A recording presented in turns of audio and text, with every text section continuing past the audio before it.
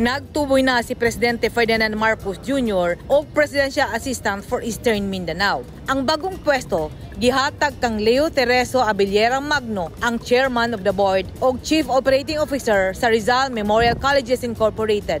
Sa usa ka appointment letter nga dunay pitsa Nobyembre 8, gituboy ni Presidente Marcos si Magno isip PA for Eastern Mindanao. Ang pagtuboy kag Magno gikalipay sa kadagkuan sa Davao Region tungod kay dako kining tabang sa katawhan kay matutukan ang kalambuan sa komunidad ug dunay maduulan aron makabot dayon ang mensahe sa presidente. Usa si Davao del Norte Governor Edwin Hubahib sa unang nagtimbaya kang Secretary Leo Magno.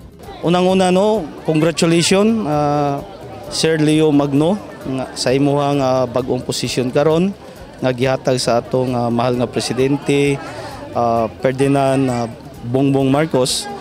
O uh, sayod ko nga ang imuhang uh, pag-appoint karon isip uh, presidential assistant for Mindanao Eastern Mindanao. Uh, makahatag kinig dako kayong tabang. Labi na sa part sa Eastern Mindanao, labi na sa sektor sa agrikultura o sa edukasyon kay ikaw uh, kay baloko nga isa ka ka educator. So dako kayo ang tabang ani nga mahimo o kabalokong sa imong uh, kapasidad nga sa imong kahibalo, sa imong experience nga pwede nimong i-share o itabang para sa pag-improve o sa development sa Eastern Mindanao.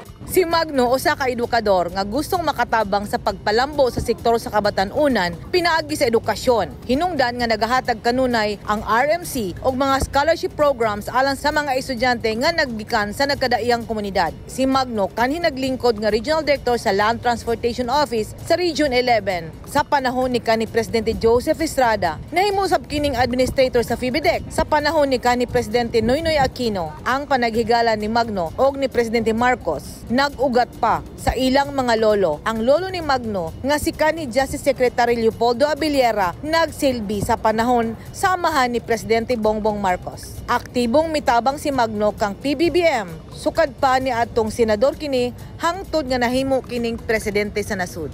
Edith Kadoay News and Philippines. Stay safe!